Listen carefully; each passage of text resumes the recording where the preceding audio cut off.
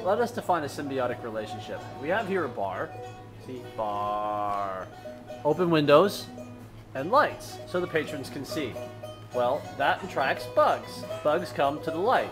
What's in the light? A gecko. So the gecko eats the bugs, the bar has less bugs, the bar has light, the gecko has food, and everybody's happy. Except for the bugs. Except for the bugs. But no one likes the bugs, so it doesn't matter. That's okay. Is he gonna... There aren't any more in there. Dang.